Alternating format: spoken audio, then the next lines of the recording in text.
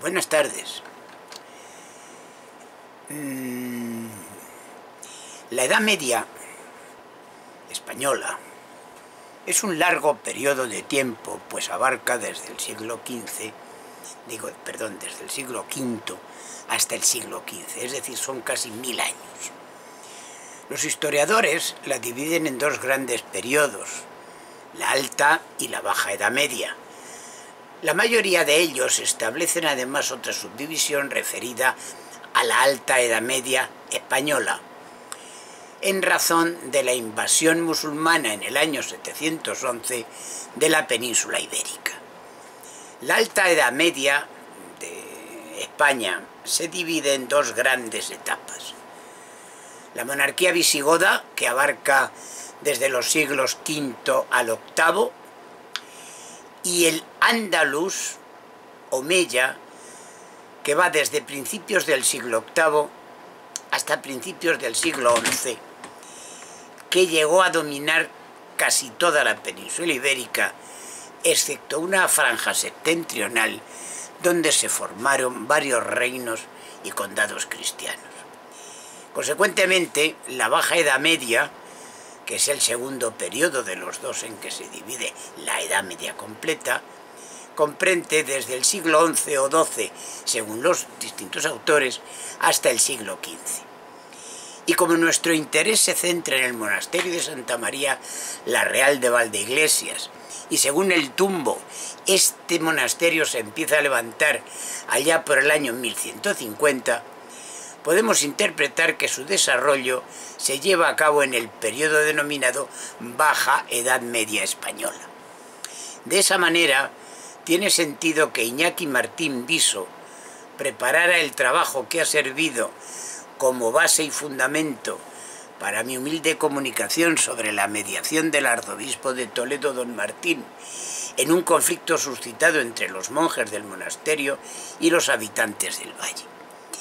Pero como no para aquí el asunto, hoy he encontrado otro tema, esta vez eh, escrito por Javier Pérez en Bizbamba, en el conjunto de unos estudios en memoria del profesor Salvador de Moxó, publicados en 1982, en los cuales se refiriera como un ejemplo de la conflictividad existente en las relaciones señoriales durante la, la Edad Media, al conflicto que sucede en la Castilla bajo medieval entre don Álvaro de Luna los monjes de Santa María la Real de Valdeiglesias y el resto de los habitantes del valle.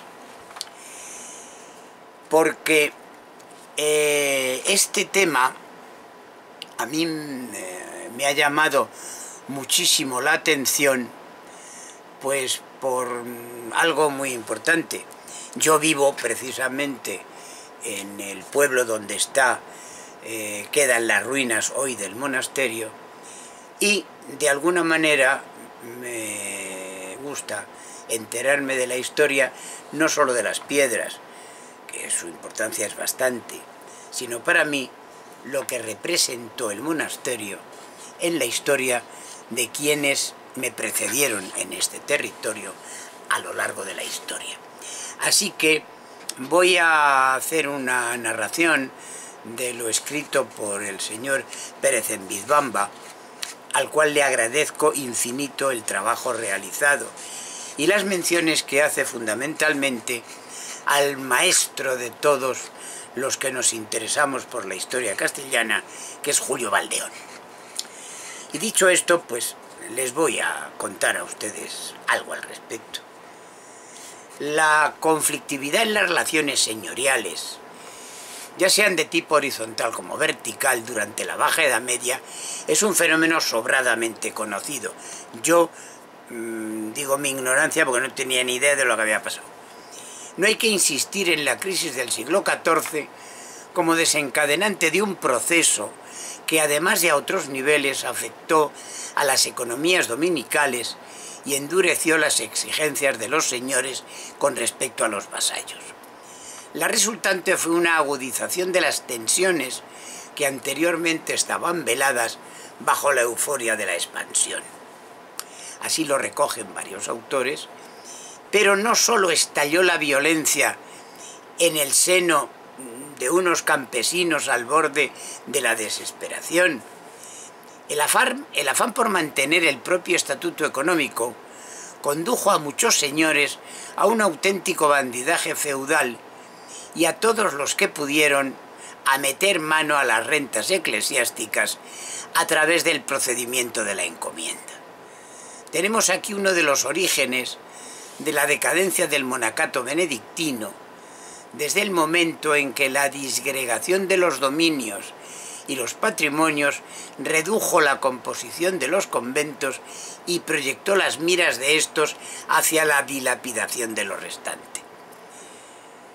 El que nos ocupa es un típico conflicto en el que se mezclan el contencioso, aristocracia laica, el monasterio en este caso, don Álvaro de Luna y San Martín de Valdeiglesias, con los problemas que ocasionaban a este último, sus vasallos más directos, los del pueblo que un día surgiera en sus cercanías.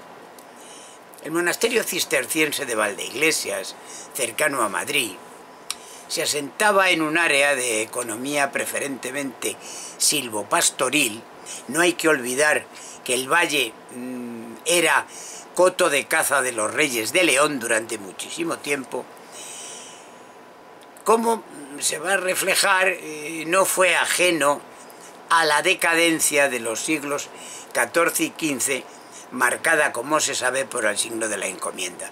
Espero encontrar los datos suficientes para explicarles a ustedes el asunto este de la encomienda, que es interesantísimo, porque tiene vinculación también con la conquista española en América. Y ahora, pues, lo voy a dejar para seguir con ello en otro momento. Que tengan buenas tardes. Joder, qué bien. Joder, qué bien. Joder, qué bien. Joder, qué bien. Qué bien, qué bien, qué bien esta cosa, sí. Ya está. Vámonos. Esto. Esto ya lo podemos cerrar. No guardar. Y ya está. Perfecto. Muy bien, pues ya estamos. Ahora ya tenemos que conectar esta cosa así.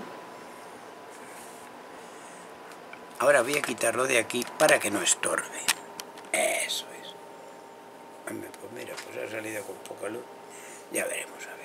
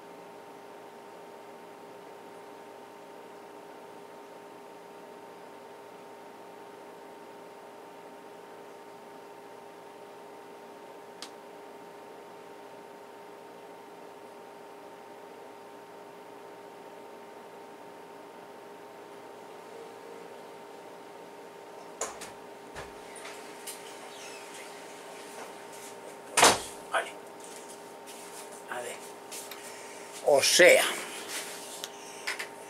Coño. Anda leche.